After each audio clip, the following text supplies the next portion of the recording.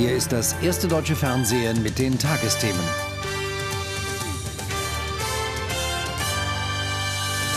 Guten Abend, meine Damen und Herren. Nach den Demonstrationen in Griechenland, Spanien und Portugal richtet sich jetzt auch in unserem Nachbarland Frankreich der Zorn des Volkes gegen die Regierung.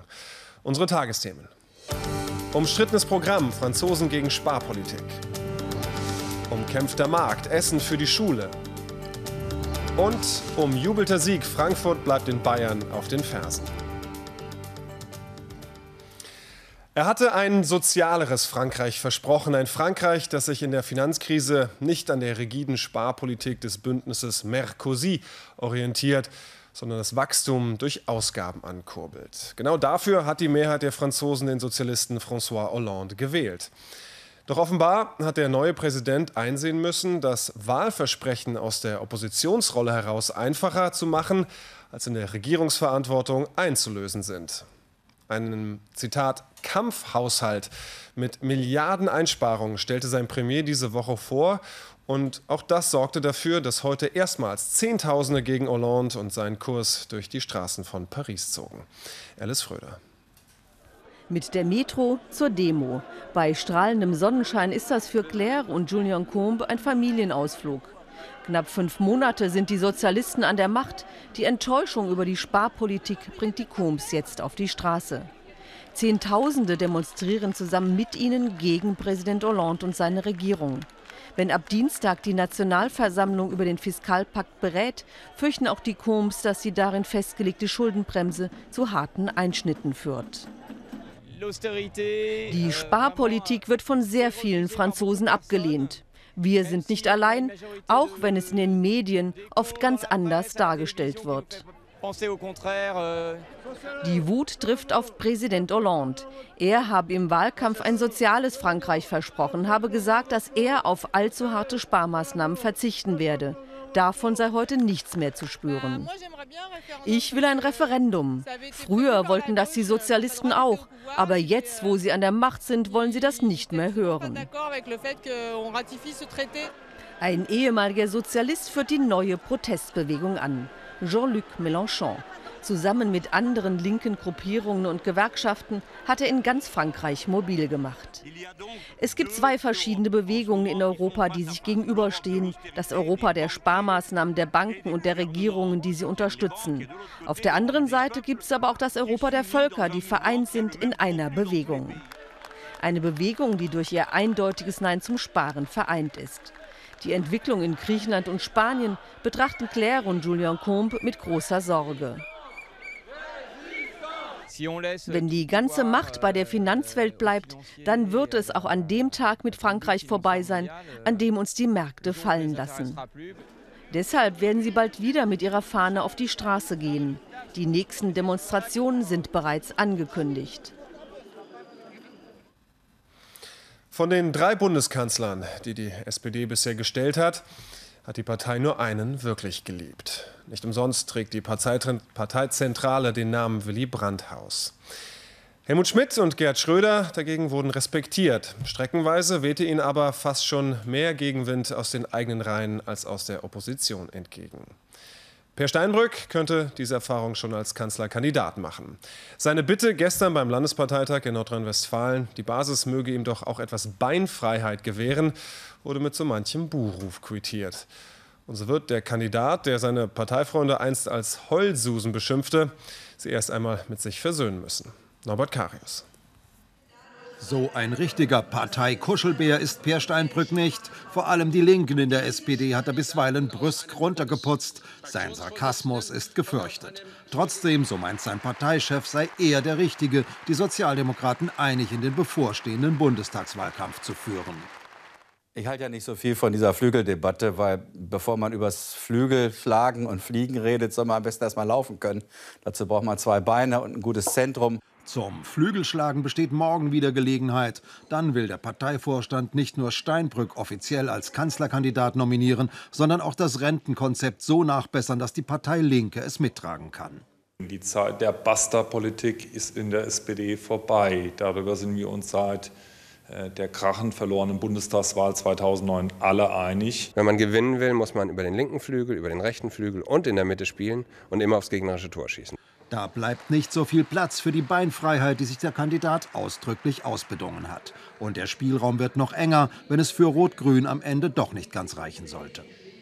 Wenn man in die Vergangenheit schaut, muss man sagen, mit Per Steinbrück wird ein Politikwechsel wohl schwer möglich sein, weil er hat die Agenda 2010 und das heißt Lohnkürzung und Hartz IV mit zu verantworten. Steinbrück sagt, mehr Sozialstaat nicht finanzierbar. Die SPD will mit dem Rentenkonzept genau das. Wer hat also das Sagen? Steinbrück in der SPD oder die SPD über Steinbrück? Irgendwie muss Steinbrück nun den Spagat zwischen Sparsamkeit und Sozialpolitik hinkriegen und sich dabei selbst treu bleiben. Ein knappes Jahr hat er Zeit, seine Partei und die Wähler zu überzeugen. Der türkische Ministerpräsident Erdogan hat seine islamisch-konservative Partei AKP auf den Kurs für die kommenden Jahre eingeschworen. Mehr dazu in den Nachrichten mit Judith Rakers. Auf dem Parteitag in Ankara wurde Erdogan am Abend mit großer Mehrheit zum dritten Mal zum Vorsitzenden der AKP gewählt. Vor tausenden Delegierten hatte er zuvor die Bedeutung von politischer Stabilität und Wirtschaftswachstum für den Machterhalt betont. Zugleich kündigte Erdogan neue Bemühungen zur Beilegung des Kurdenkonflikts an. Die kurdische Volksgruppe forderte er auf, sich von der verbotenen kurdischen Arbeiterpartei PKK zu distanzieren.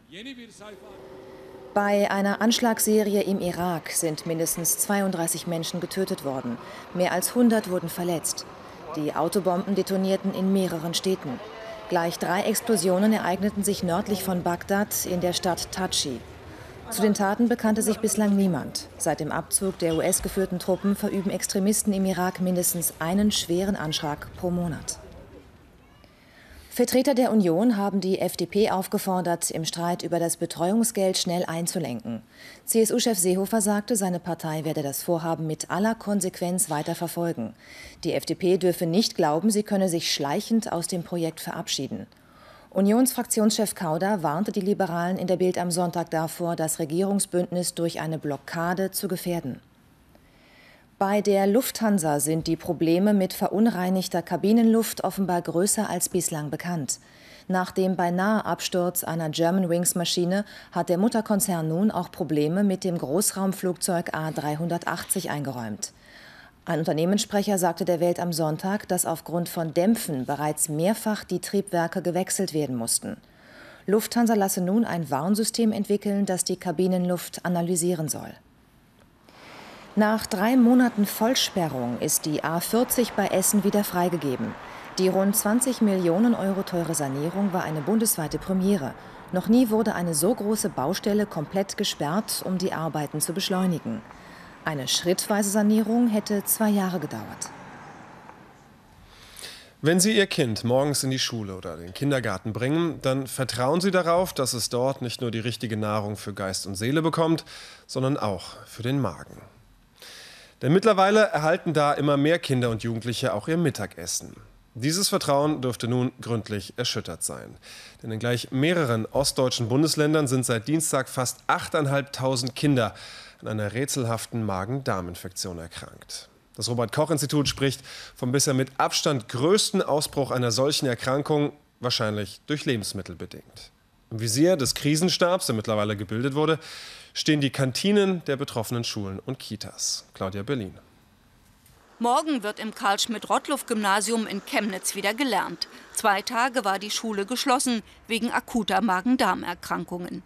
In Ostdeutschland hatte es mehr als 8300 Schüler und Lehrer erwischt, allein in Sachsen rund 2800.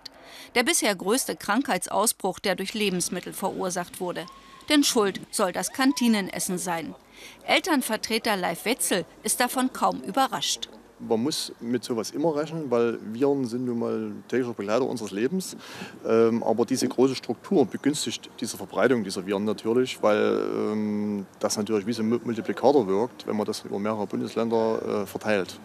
Die große Struktur, das ist Sodexo, der Caterer, der die betroffenen Einrichtungen beliefert hat.